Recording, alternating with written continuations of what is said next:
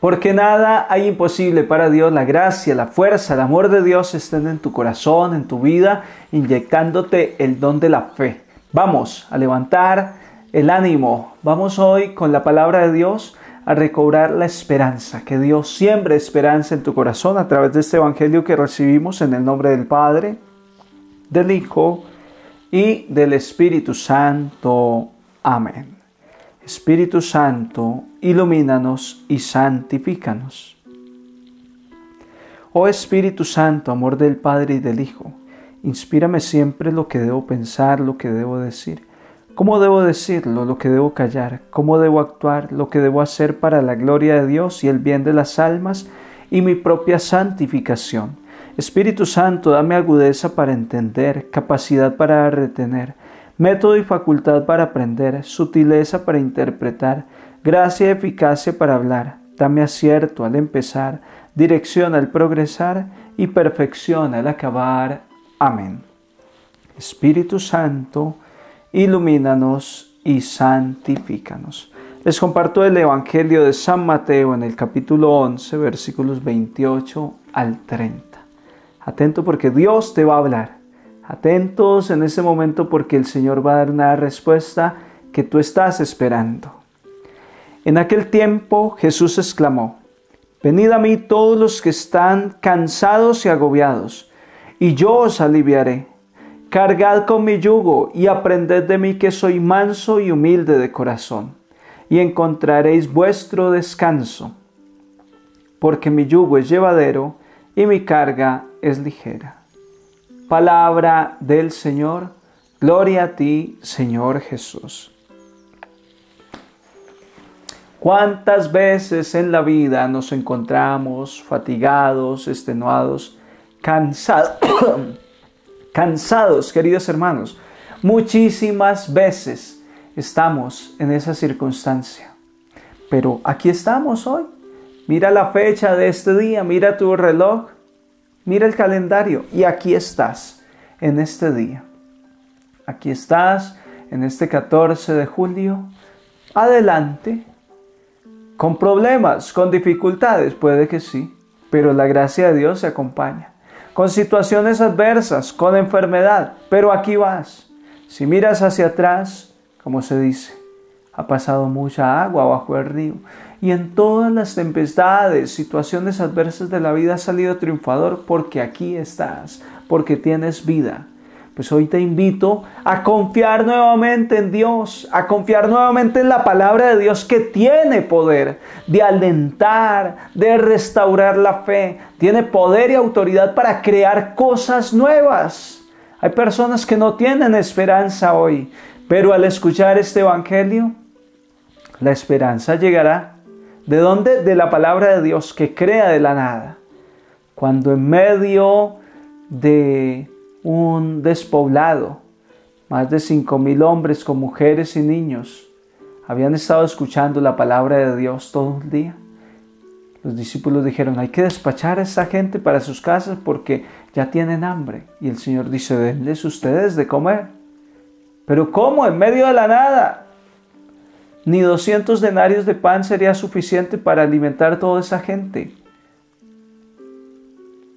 Pero Dios prácticamente de, de esos cinco panes y dos peces, prácticamente de la nada, creó. Puede ser que tu corazón hoy esté así, cansado, fatigado, extenuado. Tú dices, ya no doy para más, ya no soporto más a mi esposo, ya no soporto esta situación, ya no soporto a esa persona, ya no soporto la enfermedad. Pero Dios es capaz de eso poco que queda en ti, que te mueve a seguir orando, a seguir esperando. Dios es capaz de hacer el milagro más grande. Dios es capaz de sacar de la nada. Y no por arte de magia como el mago que saca de su sombrero conejos, palomas. No, Dios lo saca de su corazón lleno de amor por ti y por mí. Ese es el milagro del amor, más poderoso y milagroso que puede existir sobre toda la tierra es el amor de Dios. Pues Dios de su corazón lleno de amor por mí, hoy me saca una respuesta, una palabra que sale de su alma.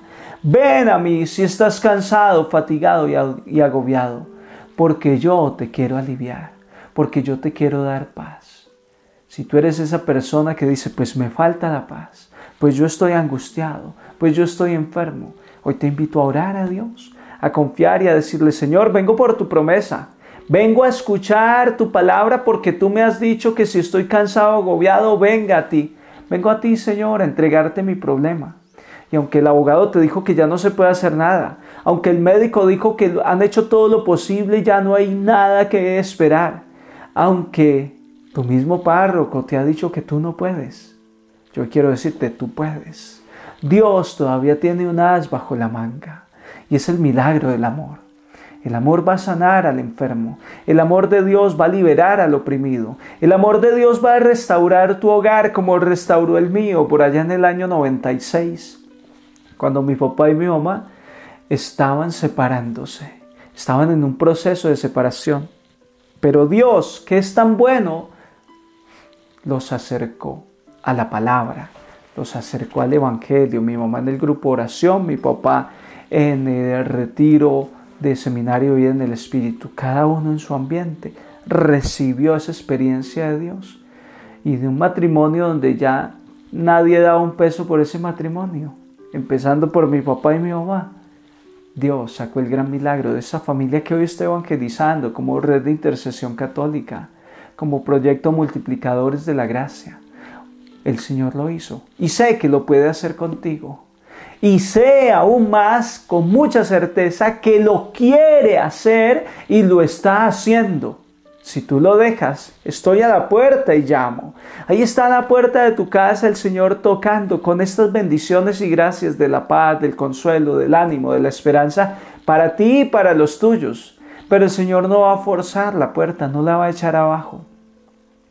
El Señor no va a forzar la cerradura. Incluso esta puerta ni tiene cerradura, porque cuando dibujaron esta puerta de Jesús tocando a esa puerta, Alguien dijo, pero tiene un error artístico, un error de diseño. ¿Qué pasó? Es que esta puerta no tiene cerradura, no hay por dónde entrarle la llave para abrirla. Y el artista dijo, es que esa puerta es la puerta del corazón, es la puerta de los hogares, y solo se abre desde dentro, se tranca por dentro y desde fuera no se puede abrir. Ese es el corazón del ser humano. Ese es el corazón al cual el Señor está tocando con fuerza hoy. Ábreme, ábreme, que traigo bendición, traigo gracia, traigo paz para ti, pero ábreme, ábreme que quiero entrar. Hermosa canción, la de Gesed de Monterrey, México. Búsquenla hoy en el YouTube. Estoy a la puerta y llamo. Más o menos dice así. Estoy a la puerta y llamo esperando a que me abras. Ábreme que quiero entrar, que estoy a la puerta y llamo. Si me abres entraré y yo cenaré contigo. Si no me abres seguiré afuera como mendigo, llamando, llamando. Hermano, ¿usted se atreve a dejar a Jesús afuera, a la puerta, llamando? Cuando viene a decirte, vengo a traerte paz, vengo a traerte amor, ven, déjame sacarte de esa situación de desespero, de angustia, ven, déjame sacarte de esa depresión. Hermano, ven corriendo y créele a la palabra de Dios. Créele a esto que el Señor está haciendo. Todavía estoy recibiendo testimonios del cerco de Jericó.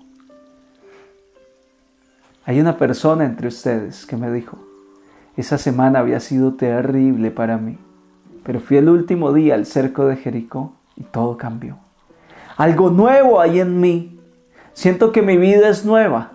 Y llevaba cantidad de tiempo sumergida en esa angustia, en esa depresión. ¿Por qué? Porque le abrió la puerta al corazón. El próximo puede ser tú. Yo quiero que el próximo seas tú. Abre la puerta. Ábrele la puerta al Señor y te bendigo si así lo decides. Te bendigo para que el Señor venga con el don de la paz, con el don del amor a tu corazón, a tu vida. Ven, Señor Jesús, trae consuelo, trae ánimo, trae aliento a tus hijos. Ven, Espíritu Santo, ven a iluminar, a santificar. Ven a guiar, Espíritu Santo. Ven Espíritu Divino. Ven Espíritu de amor. Trae consuelo, trae paz. El Señor lo está haciendo en ti. El Señor te está dando su gracia, su amor. Llénanos de tu paz, Señor. Alivia al que está cansado y agobiado. Señor, que podamos cargar sobre nuestra espalda tu yugo, el yugo de la obediencia, el yugo de la palabra, que suave y ligero. Bendito seas, oh Dios. Queridos hermanos, la gracia del Señor con todos ustedes y les bendigo en el nombre del Padre, del Hijo y del Espíritu Santo. Un santo día para todos.